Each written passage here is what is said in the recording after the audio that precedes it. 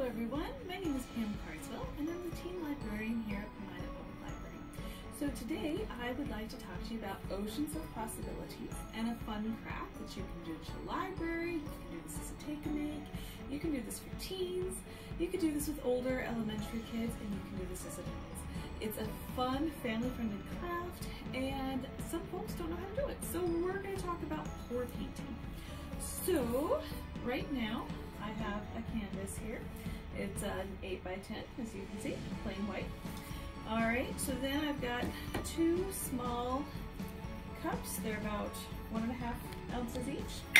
I like to use some small cups because the paint comes right out of these and then you don't have the waste of the paint all over a larger cup. I've got four different kinds of ready mixed pour paint right here. If you don't have ready mixed pour paint, please don't worry. You've got a lot of acrylic paint, that's all you need. You need a little bit of this, you need a bottle like this, and you need some pouring medium.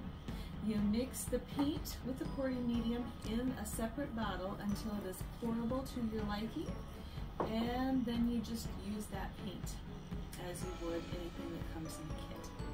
All right, so let's get started. The first thing I am going to do is I'm going to fill up my cups. So some of these bottles are brand new, so forgive me while I take off the tops here. All right, so I want a bit of blue, this color blue in both of them. I'm gonna layer up a little bit. I'm gonna get some green. Oops, I think I the screen. Some of these I have open, some of them I haven't, so forgive me. All right. All right, there we go. All right, and I'm just gonna layer that right on top. You notice I'm not stirring this in because I don't want them to mix too much in the cup. I want them to um, pour at different rates onto the canvas. So then I've got a bit of gold and um, this is for me just a little accent color. I like to have a little gold wave in there. It just adds to a little bit of fanciness, I think.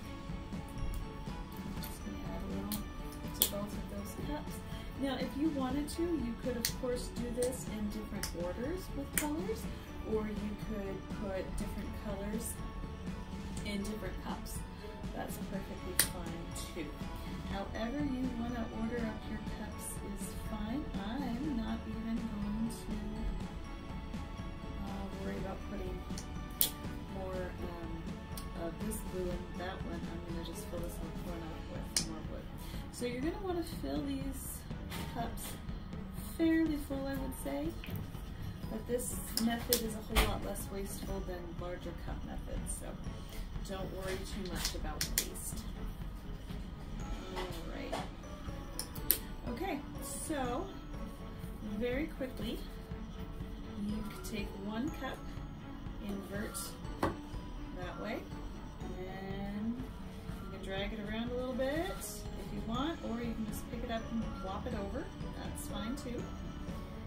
Alright, and then I'm just to take this one and very quickly invert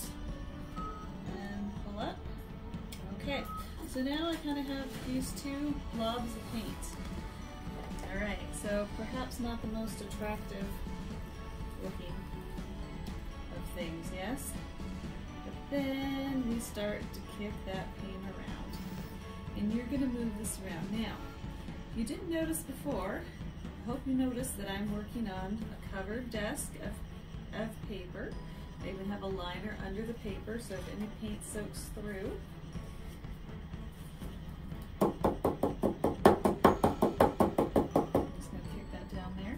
any paint soaks through, it's gonna um, gonna be taken care of um, and not not go through to the to the desk. It's got that line underneath. All right, now you can see all these lovely colors that are mixed in, um, starting to play together in a nice, fun way. So You're gonna make noise when you do this. Not everybody realizes how noisy pour painting can be, but here we go.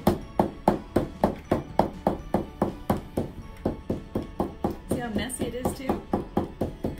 Something to keep in mind. Make sure you've got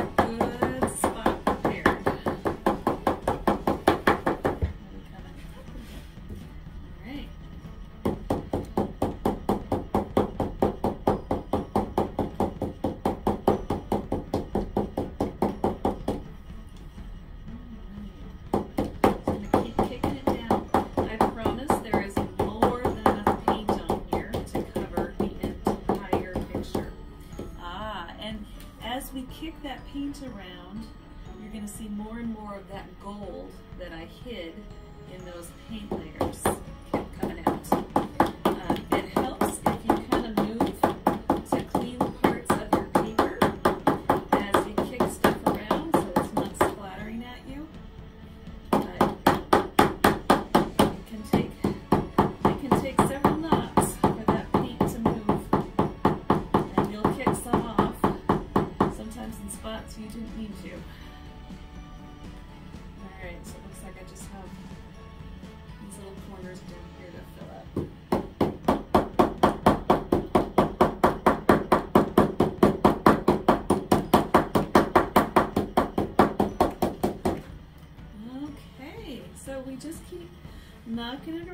until we have it just the way we want it. Um, if you like where it is and you just don't want to move paint around too much, you can use your finger and do like what we call a dirty pour and just touch up corners if you just don't want to move paint from where it is now. Uh, I've got some spots I rather like, so I think I want to kind of put one ahead. All right, so there we have that.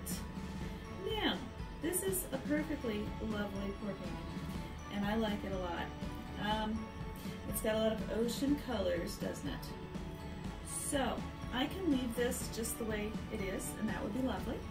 But if I want to make this a little bit more special, what I can do is I'm gonna just kind of put this up on the cups that I used so it's flat and can drain. And it's gonna drain, so you know, don't don't be afraid of it um, dripping. It's, it needs to drip, and it's nice if you can elevate it um, a little bit so it doesn't stick to the paper that you put it on.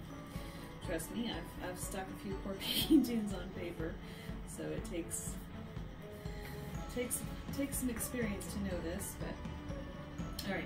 So once once you kind of have it the way you the way you want it, you can, if you are so inclined, take um, take say a 3D printed starfish. I have one right here that I kind of like. So I could um, put that, say, in the middle of my 3D uh, or in, in the middle of my pour painting to add uh, to the fun. Conversely, if you don't have any 3D prints handy, we've got some um, little crabs here. They might be kind of fun to pop into the ocean. Matter of fact, I think I might just do that with him. So maybe he's here at the beach. And if you put him straight into the wet paint and let him dry in there, you won't need any adhesive. He'll just stick right there. So there he is. There's my little crab having a great old time.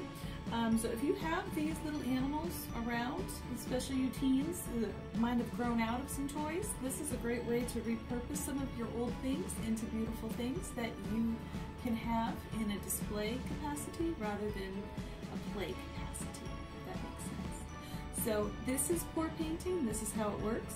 You want to leave your painting alone for about 24 hours and let it dry, and then it's ready for display.